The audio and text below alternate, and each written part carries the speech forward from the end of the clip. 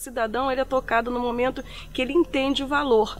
Né? Então, hoje, se a gente, aqui, por exemplo, que é uma mata ciliar de um córrego, que é o córrego Bandeira, se o cidadão ele passa a viver essa mata, ele participa, ele passa pela mata, ele convive, ele vê o conforto ambiental, ele vê animais como os macaquinhos, ele passa a ser tocado pela importância do ambiente.